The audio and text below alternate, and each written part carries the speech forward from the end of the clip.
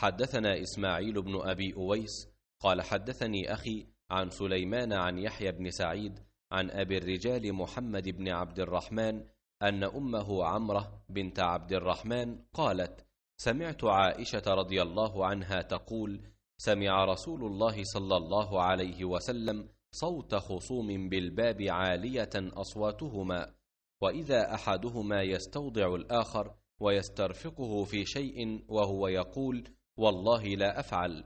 فخرج عليهما رسول الله صلى الله عليه وسلم فقال أين المتألي على الله لا يفعل المعروف؟ فقال أنا يا رسول الله. وله أي ذلك أحب؟